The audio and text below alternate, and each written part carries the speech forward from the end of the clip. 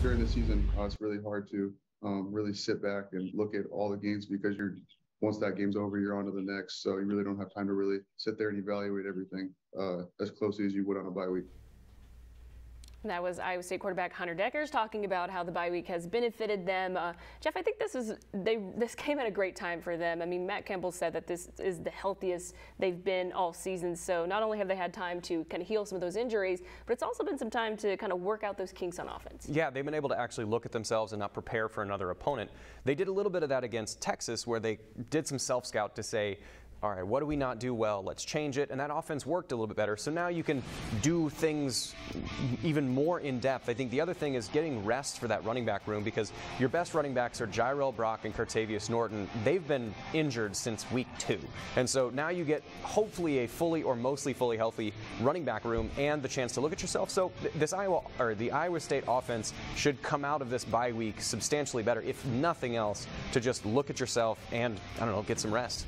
Yeah, sticking with the offense, particularly talking about the running backs, how much does having both of those guys back um, as close to fully healthy as possible um, elevate this offense and allow them to function a little bit more in the way that we saw them the first three weeks of the season? Yeah, I mean, I love basketball metaphors, and one of the things is imagine you're an offense in basketball who has two good three-point shooters and neither one of them's healthy.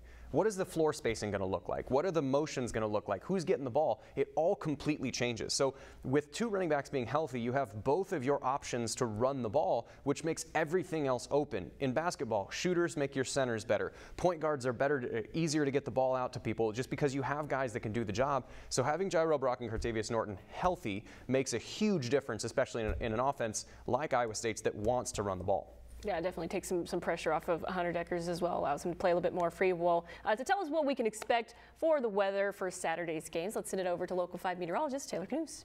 Hey, Raina, the, the weather's going to be completely fine, whether it's for the fans or for the, the games themselves. The, the weather will not be an issue. Really ideal fall weather uh, for later on today. We're looking at temperatures in Ames for the Iowa State game to start off around the low 50s at kickoff, warming to the upper 50s by the fourth quarter. Light winds, plenty of sunshine expected in Ames games and really not too different in Iowa City either. Kickoff at 2.30 for the Hawkeyes. Temperature should be in the low 60s, and that's pretty much where they're going to stay uh, all the way through the fourth quarter. So whether it's in Ames or Iowa City, looking good to go across central Iowa later on today.